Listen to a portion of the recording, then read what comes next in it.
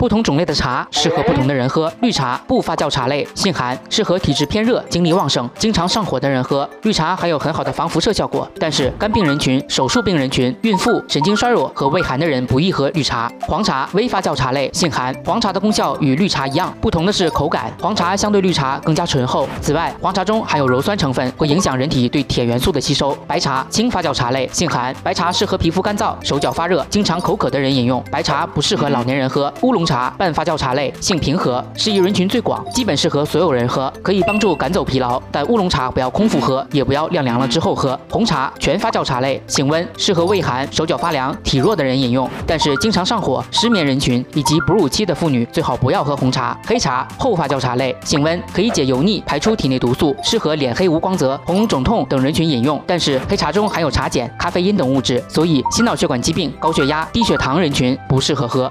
关注健康，关注我。